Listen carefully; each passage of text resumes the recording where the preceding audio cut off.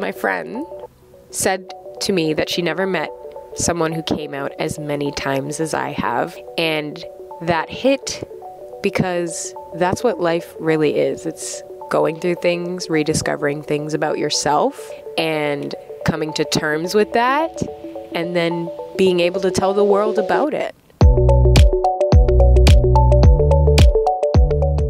Growing up black was not something that was prevalent for me because I was sad.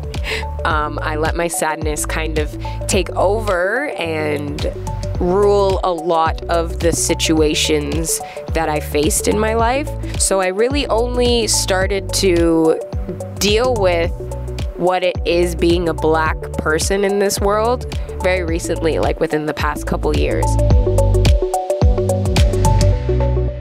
The first time I engaged in the self harming, I was very young. I was around 11 years old, and I felt like it was a coping mechanism to distract myself from feeling sad.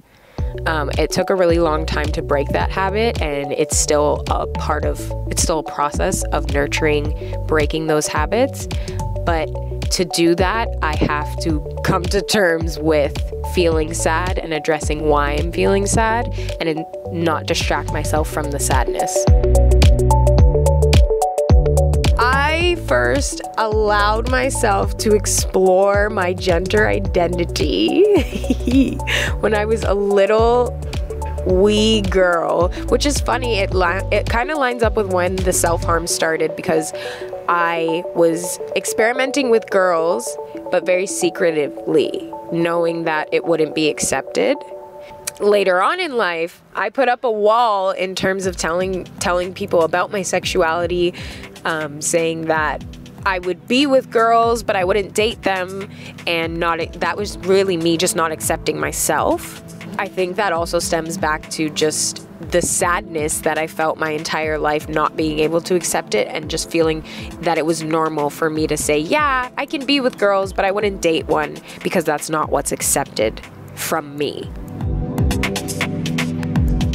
Okay, so since I was a young buck, I have been obsessed with being compared to things that are not humans. okay, I let me tell you something. These uh, us humans, we are we are very is it's you don't um, you almost don't want to identify as one of us. But growing up, I just felt so much life whenever someone was like, "Oh, you're so long. You look like a lima bean." Like, yes, I am a lima bean. Or I dyed my eyebrows once, and my sister told me I look like an egg, and I was like, "Yes, I'm serving you egg realness."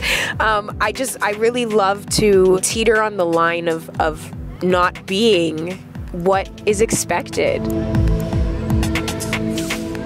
It is an ongoing process. And I think if there's anything that I've taken from my journey is that it needs to continue to move. I need to be prepared for things to go in any direction. And I think that that in itself with life really represents my gender as well, that it can go in any direction. And I just have to be prepared and willing and open to the experience and the journey.